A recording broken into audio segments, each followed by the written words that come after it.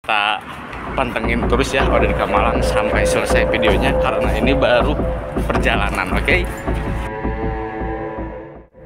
Benar saja sahabat angler, sebelum kita berangkat ke spot Marunda, kita sudah disajikan perjalanan yang cukup berat. Pasalnya, kita harus menyeberang jalan tol sesuatu yang tidak mungkin kita lewati karena kendaraan melaju dengan cepatnya sekitar 180 kilo per jam. Bayangkan kalau kita harus menyeberang guys. Nah, ada satu kesempatan yaitu kita harus bergelantung memanjat tanpa anak tangga dan bagi kami ini sesuatu tantangan bagi kita demi sebuah spot mancing yang banyak dibicarakan para youtuber. Jalan apa pun kami lewati karena kami angler super jong ン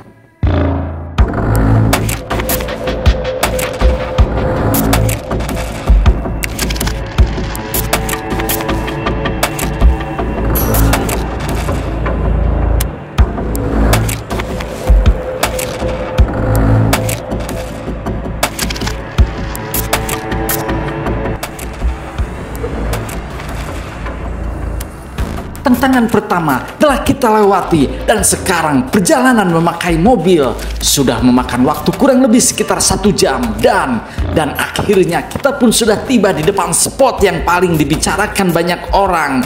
Lihat saja guys, spot ini benar-benar memanjakan para angler. Tambak itu, kalau ini kan kali. Tanpa basa-basi, tim pun bergegas untuk mencari info tentang spot yang banyak diceritakan para youtuber. Kita mendapatkan narasumber yang benar-benar amazing dan gokil banget. Dan Jarod pun mulai memainkan aksinya. Sebagus apa spot ini? Emang gak pernah ke laut? Karena kita masih amatir dan pertama kali ke spot Marunda ini, si ibu pun dengan tegas mengatakan, emang belum pernah ke laut. Akhirnya si Jarod pun sudah berhasil mendapatkan nomor HP si ibu untuk calling jasa penyewaan perahu yang murah. Setelah itu kita berhasil mendapatkan nomor HP-nya, tim pun langsung mencari umpan udang sesuai arahan si ibu tadi. Mantap. Sekali lagi, Odet Kamala. Ada di Kamalan. Mantap. Udang berapa bu? Yang kecil 2003 ya bu? Ada yang 2003 dan 1001 ya. Jenis udangnya apa? Udang mana? Panami. Oh, udang panami itu. Jadi teman-teman kalau mau ke sini itu udah ya. Ibu siapa bu namanya? Nama apa sih? Kak? Pada Bude. Sekarang kita lagi berada di tukang udang guys. Kita beli dulu umpan ya. Umpannya itu eh, macam-macam guys. Ada yang 1001, ada yang 2003. Kita pilih yang 2003 aja biar banyakan, oke? Setelah membeli udang hidup, tim pun bergegas kembali untuk mencari lokasi yang belum tentu arahnya.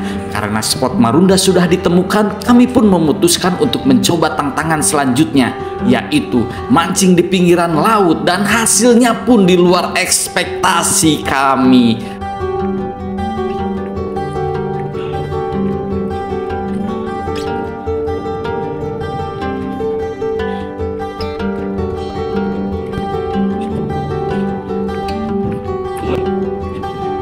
Di mana ini? Pemandangan spot di pinggiran laut memang aduhai. Angin sepoi-sepoi mengusap wajah para angler kami dan pemandangan memanjakan mata sejauh memandang. Namun, kami dibuat menyerah karena trik matahari serta gigitan nyamuk kebo yang super rakus. Akhirnya, kami pun seperti biasa pasti bakal dibuat zong kembali, guys. Terima kasih banyak untuk para angler fish dan para subscriber kami yang sudah setia menonton video ini. Tinggalkan pesan dan like untuk dukungannya. Oded Kamalang undur diri. Wassalamualaikum.